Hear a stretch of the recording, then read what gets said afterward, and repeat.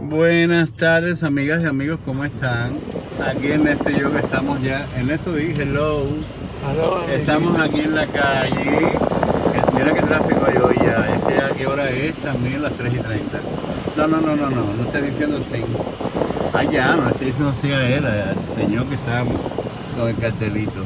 Hello, Ernesto, atiende el tráfico. No, la cuestión es, Ernesto, atiende el tráfico no te luzcas más. Bueno, estuve viendo unos videos de Cardino, que en una de esas dice, más que nada yo no puedo trabajar, porque no, más que nada por las niñas.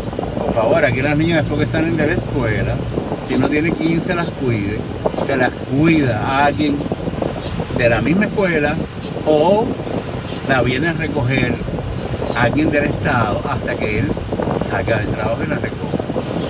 Todos los padres y las madres trabajan. Pero a todo eso me voy a referir, a referir después. Nunca había visto un hombre que, no imagínate, si le pones todo en las manos, en bandeja de oro, en bandeja de plata, no va a trabajar.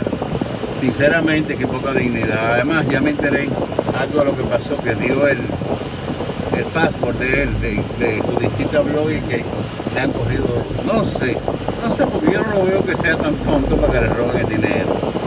Pero bueno, no sé, no sé voy a seguir averiguando y vamos a seguir hablando. Este tema es largo y extendido porque este señor no cambió ni va a cambiar jamás. Y recuerden una cosa, a todas aquellas aferradas y enamoradas de Cardino, él ya no era el esposo de Judicita.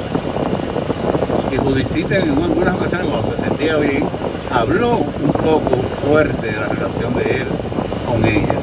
Y después ella se enfermó más y bueno, él vino y él vino y bueno, ella cambió un poco, pero ella fíjate que ella decía, no, casarnos no, casarnos no. A alguna razón, hijita que Dios te tenga en el cielo. En esto despídete, después seguiré amigas y amigos haciendo videos. Los queremos mucho.